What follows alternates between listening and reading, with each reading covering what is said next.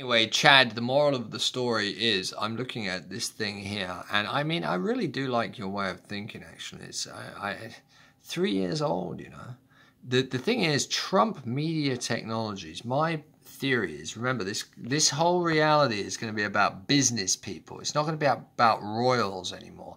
You're going to have these, these elite business people. Trump has always presented himself as some type of business person, not one of these crown members with, with crowns on his head and shit.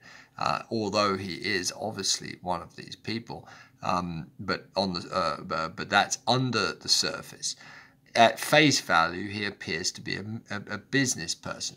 So since it's the same thing, it's just a different bunch of actors ruling this reality anyway as time moves on. It's a new film set, it's a new group of people, but it's the same group of people. So Trump, with this, it's a great idea because he speaks about less uh, uh, uh, communist uh, media where it's all from the same company.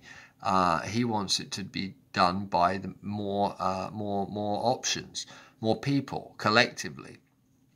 Um, better competition, which means more truth in the media. Great idea that makes a lot of sense as to why you buy. I feel that they're making this look shit before it happens because we know with the Aquarius they're probably going to do this, but he's still going to control it anyway because he's still part of them. But they're going to present the illusion that it's not controlled anymore. Uh, just like Twitter now, it's all clearly a communist with Musk running it.